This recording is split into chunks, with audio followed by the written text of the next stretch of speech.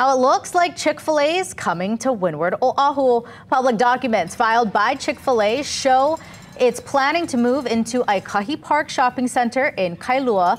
That would be the first Chick-fil-A for the Windward side. You're taking a look at video of the one that recently opened on Beretania Street. The chicken restaurant chain now has eight restaurants uh, that are open or in the works here in Hawaii.